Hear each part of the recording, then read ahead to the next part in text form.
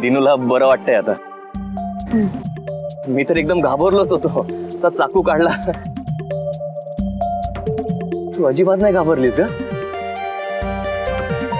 आधी घाबरायचीस तू. आता एवढी हिंमत. दादा वेळ सगळं काही शिकवते रे.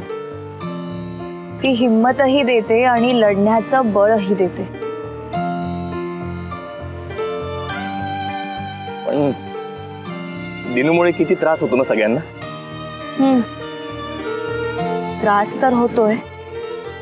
पण दादा हे सगळं काही तो जाणून बुजून नाही करत. अरे त्याला त्याच भान नाहीये. तो बिचारा तरी काय करणार आहे? माझ्यामुळे पण खूप त्रास होतो माझ्या जवळच्या माणसांना. इतका त्रास दिलाय ना मी सगळ्यांना आई अण्णा लीना. खूप त्रास सहन करतात ते. आणखी किती वर्ष करणार आहेत माहिती नाही. सहा वर्ष झालेत माझ्या आजारपणाला. होईल का ग बरा? दादा तू नक्की बरा होशील. मला नाही वाटत.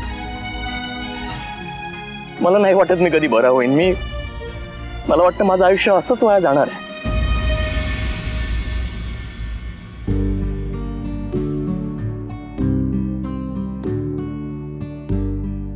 दादा। असं काहीही होणार नाहीये. मी तुझी साथ देईन.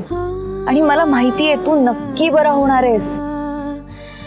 तुला माहितीये, ह्या आश्रमात असे कित्येक मनोरुग्ण येऊन गेलेत जे व्यवस्थित बरे होऊन आपल्या घरी गेले. आणि जे निराधार आहेत, ते इथेच राहतात. इतरांची सेवा करतात. हा, आनंदी मला मला बरं व्हायचं आहे ग मला यातून बाहेर पडायचं हो दादा तू नक्की या सगळ्यातून बाहेर पडशील आणि लवकरात लवकर बरा होशील.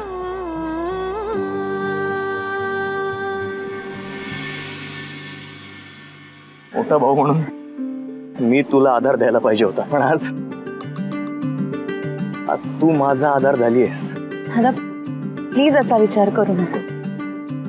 हे बघ मी म्हटलं ना तुला मी आहे तुझ्यासोबत. आणि मला खात्री आहे, तू लवकरात लवकर बरा होशी आणि घरची सगळी जबाबदारी सांभाळशील. नको काळजी करू.